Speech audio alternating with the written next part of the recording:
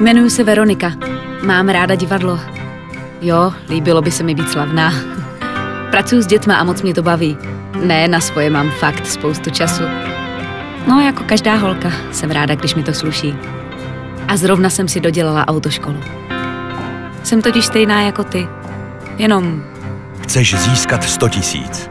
Vymysli vlastní kampaň, jak zbořit bariéry mezi námi. Jak na to najdeš na www.chodícílidé.cz